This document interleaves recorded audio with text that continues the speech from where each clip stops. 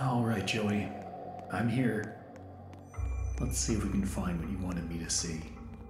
And here's my old desk. I wasted so much time in this chair.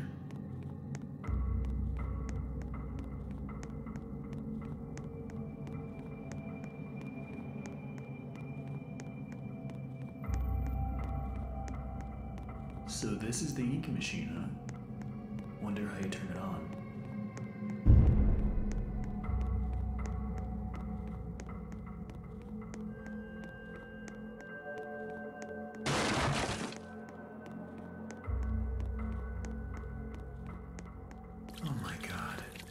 Joey, what were you doing?